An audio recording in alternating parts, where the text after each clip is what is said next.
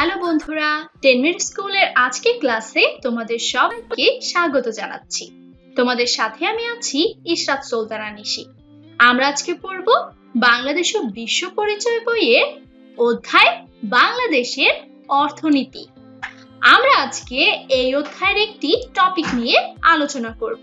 আর টপিকটির নাম হলো বাংলাদেশের গ্রাম ও শহরের অনানুষ্ঠানিক অর্থনৈতিক কার্যাবলী।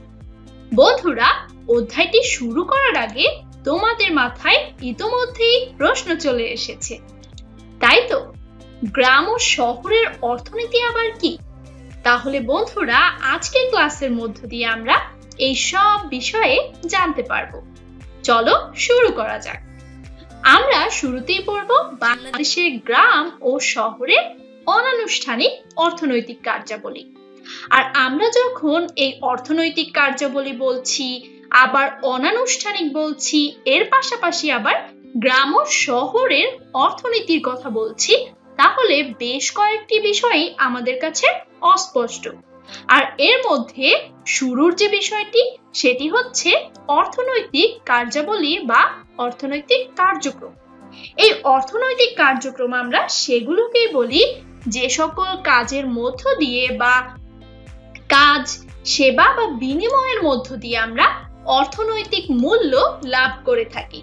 অর্থাৎ কাজের বিনিময়ে আমরা একটি পারিশ্রমিক পেলাম, অর্থমূল্য পেলাম, যেটি আমরা ব্যবহার করতে পারি পরবর্তীতে যে কোনো কাজে। আচ্ছা এই যে অর্থনৈতিক কার্যক্রম আমরা পড়লাম এই কার্যক্রমকে জানো কয় ভাগে ভাগ করা হয়? এই অর্থনৈতিক কার্যক্রমকে আবার দুই ভাগে ভাগ করা হয়।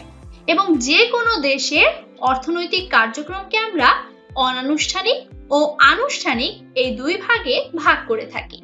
আর আনুষ্ঠানিক কার্যাবলীর মধ্যে থাকে শিক্ষকতা বা ডাক্তারি পেশা সহ অন্যান্য যে পেশাগুলো রয়েছে সেই পেশাগুলো।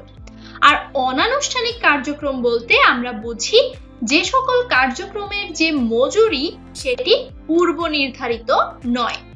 আবার যে কার্যক্রমটি সম্পাদন হচ্ছে এবং যে কাজটি করে একজন ব্যক্তি জীবিকা নির্বাহ করছে, সেই যে উৎপাদন এবং সেটি থেকে তার যে আয়, সেই আয়টি করের আওতাভুক্ত করা কঠিন হয়ে পড়ে। আবার অন্যদিকে বলা যায় যে যে কাজটি সম্পাদন হচ্ছে, সেটি সরকারের পক্ষ থেকে নিয়ন্ত্রণ করাও সম্ভব হয় না। এক্ষেত্রে অনানুষ্ঠানিক কার্যক্রমের যে বিষয়টি, সেটি কিন্তু আমরা পরিবারের মধ্যেই দেখতে পারি। আর সেটি হলো, আমাদের মা যে আমাদের জন্য ছোটবেলা থেকে লালন পালন করা, ঘরে রান্না করা বা ঘর গোছানো সহ যে সকল কাজ করে থাকেন সেই কাজের জন্য সে কিন্তু পারিশ্রমিক পায় না। বা এই যে এই কাজগুলো, এগুলোর জন্য তার পূর্ব নির্ধারিত কোনো মজুরিও নেই। আমরা কিন্তু এ ধরনের কাজকে বলতে পারি অনানুষ্ঠানিক কার্যক্রম। আচ্ছা তাহলে চলো আমরা জেনে নেই যে আমাদের এই যে অনানুষ্ঠানিক কার্যক্রমগুলো রয়েছে, সেরকম অর্থনৈতিক কাজগুলো গ্রাম অঞ্চলের ক্ষেত্রে কীরকম হয়? আমরা যদি দেখি বাংলাদেশের অধিকাংশ মানুষ এখনও গ্রামে বাস করে, আর তাদের যে জীবিকা নির্বাহের উপায় সেটি হলো কৃষি কাজ করা।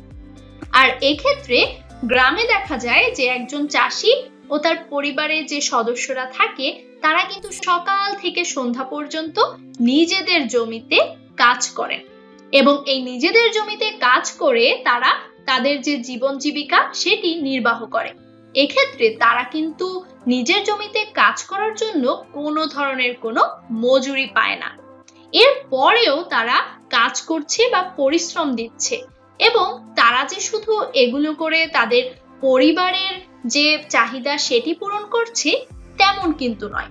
তারা যে কাজ করছে এবং তাদের জীবন জীবিকা নির্বাহ করছে, এটির কিন্তু একটি প্রভাব সমাজ ও রাষ্ট্রের উপরেও পড়ছে এবং সেক্ষেত্রে সমাজ ও রাষ্ট্র কিন্তু উপকৃত হচ্ছে তাদের এই অনানুষ্ঠানিক অর্থনৈতিক কাজের মধ্য দিয়ে। এর পাশাপাশি আমরা গ্রামের যে কৃষকরা তাদেরকে দেখব আমাদের জাতীয় অর্থনীতিতেও তারা ভূমিকা পালন করছে তাদের এই কার্যক্রমের মধ্য দিয়ে। এবং এক্ষেত্রে গ্রামে আমরা দেখি কৃষিকাজের পাশাপাশি কামার ও কুমোরের কাজ করছে, মানুষ গ্রামের অনেক কুটির শিল্পে যুক্ত আছে, এর পাশাপাশি অনেকে আবার ছোট, বড় দোকান ও অন্যান্য যে ব্যবসা রয়েছে, সেই ব্যবসার কাজেও তারা যুক্ত হচ্ছে। এগুলো কিন্তু তাদের অনানুষ্ঠানিক অর্থনৈতিক কাজ।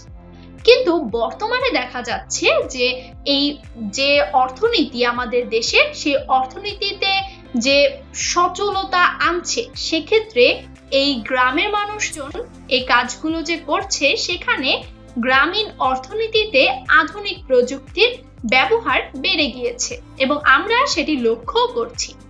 কিন্তু এর পরেও গ্রামের মানুষদের যে প্রথাগত কাজগুলো বা অনানুষ্ঠানিক যে খাতটি, সেটি কিন্তু এখনও আমাদের দেশের অর্থনীতিকে সচল রাখতে বড় একটি ভূমিকা পালন করছে। এবারে আমরা কিছু কাজ দেখে নিই। যে অনানুষ্ঠানিক কাজগুলো আমরা গ্রামে মানুষজনকে করতে দেখি।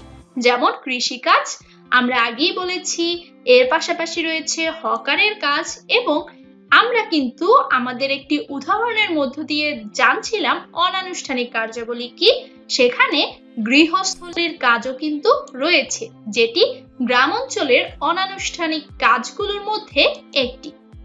এবার বন্ধুরা, আমরা শহরের ক্ষেত্রে অনানুষ্ঠানিক যে অর্থনৈতিক কাজগুলো, সেগুলো কীরকম হয় সেটা জেনে নেব। আমাদের গ্রামে কিন্তু এক সময় অনেক মানুষ বাস করত। এবং গ্রামে কৃষিকাজের মধ্য দিয়ে তাদের জীবন জীবিকা নির্বাহের যে উপায়, সেটি ছিল। পরবর্তীতে সময়ের সাথে সাথে শহরের বিস্তার হলো এবং শহরে বিভিন্ন রকমের শিল্প কারখানা গড়ে উঠল এবং এর পাশাপাশি মানুষ কিন্তু দল বেঁধে তাদের কর্মসংস্থানের জন্য শহরে যাওয়া শুরু করল। এবং শহরে এখন দেখা যায় উচ্চবিত্ত, মধ্যবিত্ত, নিম্নবিত্ত ও বিত্তহীন সকল প্রকার মানুষই বসবাস করছে। এবং এদের মধ্যে বিত্তহীনদের অবস্থা এমন যে তারা ভাসমান বা অস্থায়ীভাবে বাস করছে। তাদের শহরের বিভিন্ন জায়গায় আনাচে কানাচে ছড়িয়ে ছিটিয়ে থাকতে দেখা যাচ্ছে। কারণ তাদের নিজস্ব কোনো ঘর বাড়ি নেই এবং তাদের স্থায়ী কোনো বসবাসের জায়গাও নেই। এজন্য তারা বিভিন্ন বস্তিতে বা ফুটপাতে, পার্কে, রেল স্টেশনে, যেখানে সেখানে বাস করছে এবং তাদের যে জীবন জীবিকা সেটি নির্বাহ করছে। আর এক্ষেত্রে দেখা যায় শহরে যে সকল উচ্চবিত্ত ও মধ্যবিত্ত মানুষজন রয়েছে, তারা বিভিন্ন সরকারি ও বেসরকারি চাকরিতে যুক্ত আছে, কেউ কেউ আবার ব্যবসা বাণিজ্য করছে। এভাবেই তারা তাদের যে অর্থনৈতিক কার্যাবলী সেটি চালিয়ে যাচ্ছে। অন্যদিকে শহরে যে সকল নিম্নবিত্ত ও বিত্তহীনরা বাস করছে, তাদেরকে দেখা যায় যে শহরের যে ছোট ছোট জায়গা সেই খালি জায়গায় দোকানপাট গড়ে তুলছে বা অনেকে ফুটপাতে হকারি করছে, অনেকে ফেরিওয়ালা হিসেবে কাজ করছে, আবার কেউ কেউ রিক্সা, ঠেলা গাড়ি চালক বা মুটে মজুর বা অন্য কোনো কাজে বাসা বাড়িতে কাজে নিযুক্ত রয়েছে। এবং এর মধ্য দিয়ে কিন্তু তারা তাদের যে অর্থনীতির যোগান, সেটি দেওয়ার চেষ্টা করে থাকে। আচ্ছা বন্ধুরা, এবারে তোমরা বলো তো যে এই যে কাজগুলো তারা করছে, বাংলাদেশের অর্থনীতিতে এই অনানুষ্ঠানিক কাজগুলোর কি কোনো ভূমিকা নেই? আমরা এবারে জানব যে এ সকল অনানুষ্ঠানিক কার্যাবলী আমাদের অর্থনীতিতে কি ধরনের ভূমিকা রাখছে। আমরা দেখতে পাচ্ছি যে গ্রামে এবং শহরে উভয় জায়গায় বসবাসকারী মানুষই কিন্তু তাদের কার্যক্রমের মধ্য দিয়ে তাদের জীবিকা নির্বাহ করছে। আর এক্ষেত্রে দেখা যায় যে মানুষ নিজ উদ্যোগে যখন গ্রামে বসেই তাদের যে শ্রম, সেই শ্রমের মধ্য দিয়ে ধান, পাট অথবা যে সকল রবি শস্য রয়েছে বা অনেক ধরনের ফলমূল রয়েছে, সেগুলো উৎপাদন করে। এছাড়াও মাছ ধরা বা গরু, ছাগল ও হাঁস মুরগি পালন করা সহ কুটির শিল্প হাটবাজারে পণ্য বিক্রি করে তাদের যে জীবন জীবিকা নির্বাহ করছে, এর মধ্য দিয়ে কিন্তু তার একটি প্রভাব আমাদের জাতীয় আয় এবং ব্যয়ের ক্ষেত্রেও ভূমিকা রাখছে। কারণ যখন এ সকল মানুষ যদি সরকারের উপর নির্ভরশীল হতো, তখন কিন্তু সরকারের আলাদা বাজেট করতে হতো এ সকল মানুষদের যে সহযোগিতা দরকার সেগুলো দেওয়ার জন্য। আবার অন্য ক্ষেত্রে দেখা যায় যে শহরে বসবাসকারী যে সকল মানুষ, স্বল্প ও মাঝারি, এমনকি উচ্চ আয়ের যে সকল মানুষ রয়েছে, তারা যখন অনানুষ্ঠানিক খাতে যুক্ত হয়, যেমন তারা হচ্ছে তাদের জীবন জীবিকা নির্বাহের জন্য তাদের যে খরচ, সেটুকু তারা জোগাড় করে এবং এর মধ্য দিয়ে স্বাচ্ছন্দ্যে জীবনযাপন করে, তখন কিন্তু তাদের যে এই কার্যক্রম সেটি আমাদের যে অর্থনৈতিক কার্যক্রম রয়েছে, সেখানেও ভূমিকা রেখে থাকে। তাই আমরা বলতে পারি, অর্থনীতিকে আরও একটু সচল করতে এ সকল অনানুষ্ঠানিক খাতগুলো কিন্তু আমাদের অর্থনৈতিক কার্যক্রমের আনুষ্ঠানিক খাতে খাতকে আরও বেশি সহযোগিতা করছে। বন্ধুরা, তাহলে চলো তোমাদের জন্য রয়েছে একটি প্রশ্ন।